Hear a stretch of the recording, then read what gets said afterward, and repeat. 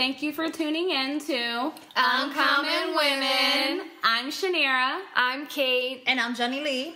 and today we're going to be focusing on loving yourself before loving others. So, three topics that we're going to focus um, this podcast on. This episode is going to be how do you start loving yourself? What are some things you need to get rid of to love yourself? And what is important to focus on before getting in a relationship? So, ladies, how do you start loving yourself? Well, by speaking life over yourself, by words, you know, being positive, looking in the mirror and just speaking them words over yourself. Um, what your wants and needs are, as well as, you know, take time out, you know, and just and what you deserve and what your desires are.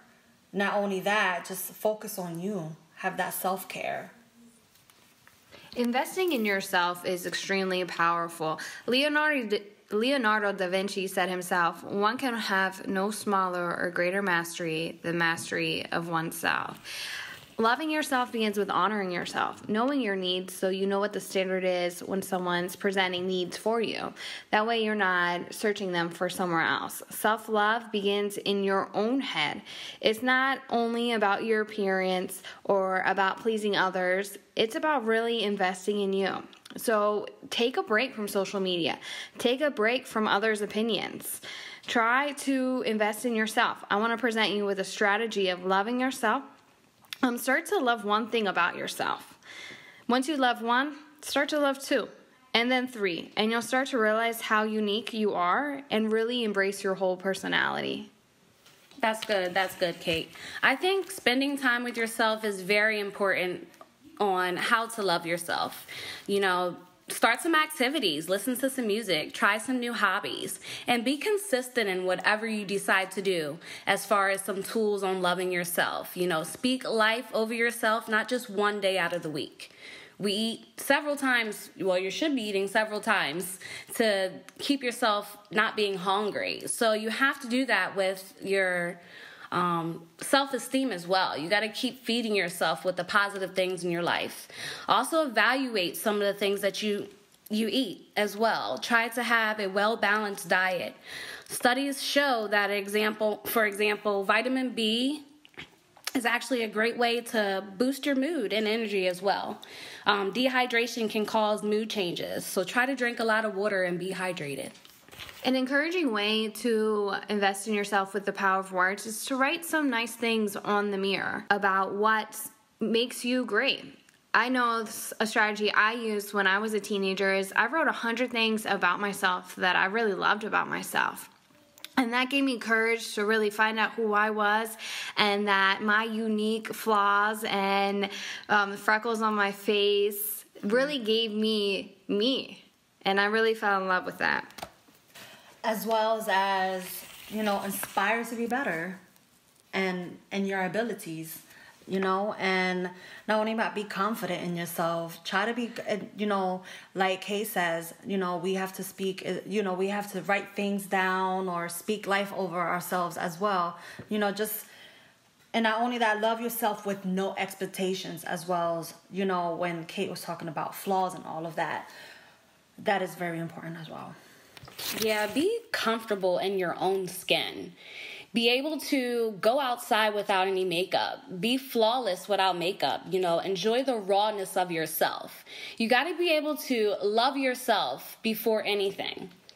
So, the next question that I would like to ask you ladies are what are some things you need to get rid of in order to love yourself? Well, I think you really have to find out what is that big void inside of you. What's causing you not to love yourself? Really uproot the root that is causing you not to love yourself and find out the void of what you're replacing it with. I agree. I definitely agree with that. I feel as though you should stop trying to fill a void. Loneliness would not heal a broken heart. And something that you can do to heal a broken heart is letting go of the things that has hurt you in the past, you know, forgive them. Let yourself free with the things that have hurt you in the past. And that will give you more peace into learning to love yourself, not holding grudges on those that hurt you, and you'll be able to come into an agreement of who you are and the greatness that you have upon your life. Yes, I agree with that, with what you're saying. If you don't let go of certain things, these can act as a powerful force in your life. Change is essential to growth and development in a person. So these are certain things that you also have to like like Shanira said that you also have to let go because if not only that you have to forgive yourself as well. I think you have to be willing to feel pain. Feel the pain, take responsibility for your feelings. Don't just blame it on other people. It's okay for change to happen, it's okay to grow. Um, we should be growing as people. We should be moving on to what's um, better people, more defining our characteristics, really finding what our needs are, and have the intent to grow. Right, right. And also set boundaries for yourself, you know. Have standards to avoid certain situations that you've been through in the past. You know, take accountability for those actions that you've put yourself in or those situations that you don't want to go through again that put you in a place that you were feeling hurt. I agree. Um, I got this awesome quote from Rumi. It says, Your task is not to seek for love, but merely to seek and find all the barriers within yourself that you have built against it. So let's focus on first loving ourselves and find out what what be okay with us before we move on to really loving something someone else. That's good. That's good. Yeah, not also that. Take the time to pursue your dreams, your goals. You know, sit down, prioritize, write these things down.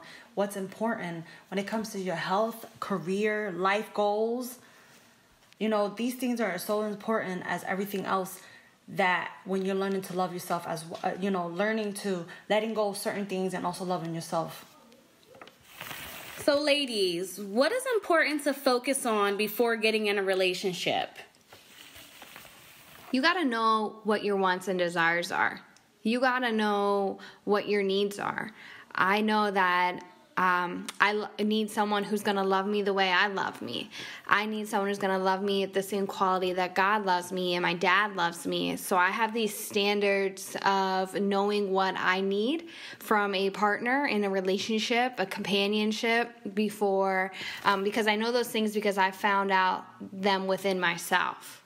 Yes, uh, the with me was is uh, you must feel content in most areas in your life. That is very important before getting into relationship. You know, you gotta have you gotta you gotta feel also confident in yourself and your abilities because these things come into place as well before getting into relationship with that other person. You know, as loving yourself, that person loving you a lot, and you're loving you as well the way you deserve to be loved. Yeah, and having patience with yourself. You got to learn how to grow patience against yourself before you can actually get in a relationship. I know uh, me personally, I can go zero to 100. So I'm building that relationship with myself to have patience so that I can have patience for someone else when I get in a relationship. I think you can't rush the process of self identification. Um, you change over time and you're slowly changing, but there's a point of contentment that comes within. Um, and I also think it's important to have stability in your life. You don't want to be the unstable person where you're seeking admiration or um, those things that you're missing in someone else. And then when they're not providing it to you, that's what puts you in the dumps. Yes, Kate. That also, like you were just speaking on, like that also can bring in insecurities and trust issues and things like that. But like you said, like the, we have to just work, focus on certain things and before so, fo- uh, focus on these things that we want before and getting into this into in a relationship. It could be a relationship with our our family, friends that we just want to rebuild a relationship as well. And honor your choices. You know, what choices you make, you have to honor them. Uh, be able to sit back and say, you know, the choices that I am making, is that showing value to my life? Is it showing that I love myself? You know, um, the choices that I'm making, is it honoring my parents? Is it honoring the generations to come? You have to take accountability in your um, in your actions.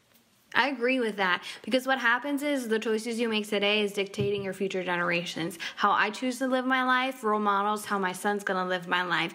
Just like when I look back, how you are shown love is how you're gonna give out love. And when you're in a household where you have unusual love or perhaps unhealthy love, um, harsh language is used towards you, or you're constantly put down, or you're compared to your siblings about how your brother or your sister wore and how you're not, or how your how your parents embarrass you in front of other people. Those kind of behaviors as a child is a, writing the blueprint to how you act when you're older, and you have to take accountability today that the choices you're making and how they're going to influence your kids and how they view relationship and self worth and self love, how you're making choices if they're constantly seeing men come in and out of your life, how are they supposed? How are women supposed to um, show that when they're older.